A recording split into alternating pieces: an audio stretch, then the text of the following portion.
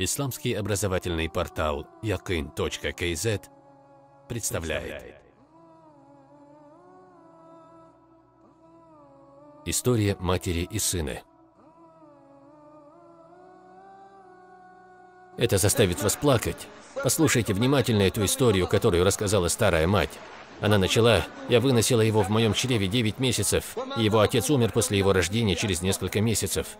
Я стала и отцом, и матерью для него, и его сестры, которая была на три года старше него. Из-за любви к нему я не прекращала кормить его грудью, пока ему не исполнилось три года, и он сам не перестал. Я подарила ему всю любовь и заботу, и когда он достиг возраста для создания семьи, я женила его на девушке, которую я люблю за воспитанность, религиозность и доброту ее семьи. Он развелся с ней через пять лет, в течение которых она родила ему сына и дочь. Однако я заботилась о его сыне и дочери после его развода, который случился по причине того, как он сказал, ее жены необразованности. Он женился на другой женщине, которая работала учительницей. Однако я продолжала заботиться о его сыне и дочери от первого брака и обслуживала его новую жену, потому что она работала учительницей. И мое сердце было недовольно этим. Через некоторое время она начала выказывать недовольство моими блюдами и говорить, что я забочусь о доме недолжным образом. После этого она распорядилась нанять горничную и позаботиться о ее зарплате. И когда она пришла, они полностью отказались от моей помощи.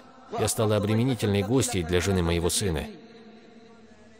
Я стала обременительной гостьей для жены моего сына.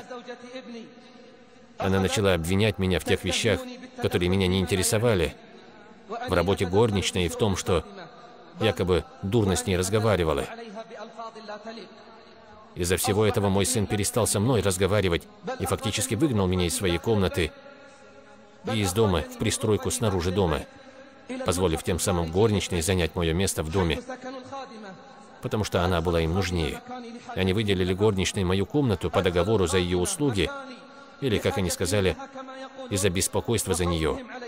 Что касается меня, то они перестали нуждаться во мне. Так почему они должны беспокоиться обо мне? Я не могу поверить. Я не могу поверить, о мать. Как они могли с вами так поступить? Она ответила, я стерпела это и была довольна, подавив мой гнев, потому что он был моим сыном, я еще любила его и ради его дочери и сына от первой жены. Однажды я возвращалась после визита к моей дочери, которая жила в другом городе и, приближаясь к пристройке, в которой я жила, увидела вынесенные из моей комнаты мои мебель, матрас и небольшую коробку. И тогда я постучала в дверь, чтобы спросить их о причине. Жена моего сына ответила, в то время как он сам стоял позади нее, «Пристройка нам нужна, чтобы хранить наши вещи». Она, мать, спросила, «А как же я? Куда мне идти?» И в такое время она, мать, спросила, обращаясь к жене сына. Жена ответила, «Идите куда угодно, но только не в дом. Земля Аллаха обширна. Я не могу поверить. Я не могу поверить, о мать, что они так поступили с вами. Где их сердца? Мать сказала, что было странным, что ее сын стоял позади жены. Он ни пальцем не пошевелил, ни слова не сказал.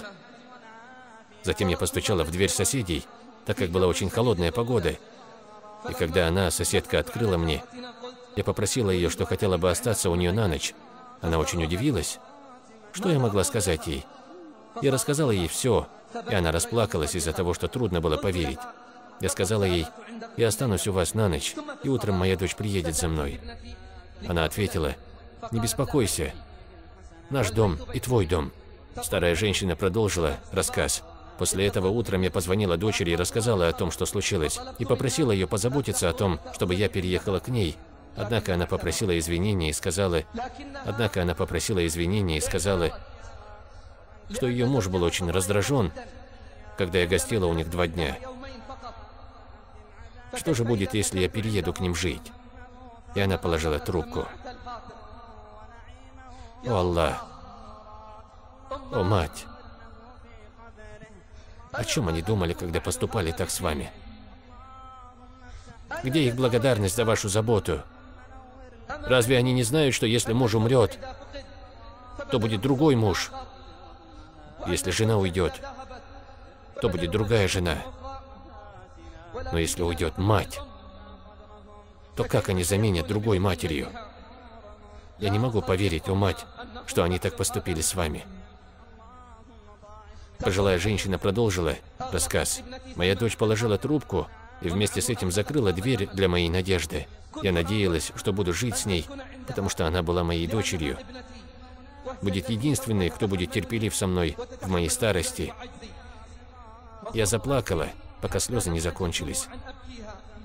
Когда моя соседка услышала новости, то она тоже заплакала вместе со мной и сказала, «Не беспокойся, с этого момента этот дом и твой дом, и мы твоя семья». Напротив нашего дома жил один мужчина. Когда он услышал мою историю, он нашел для меня жилье поблизости и организовал ремонт. Затем сказал, «Мы готовы служить вам от стара до мала». Люди в округе посещали меня и предлагали мне все, кроме моего сына. Он не приходил ко мне. Я начала сильно болеть, соседка положила меня в больницу. Люди в округе начали навещать меня, кроме моего сына. Кроме моего сына. Он не навещал меня и не расспрашивал обо мне. И здесь я ожидаю его. И мое сердце тоскует по нему. И здесь я ожидаю его. И мое сердце тоскует по нему.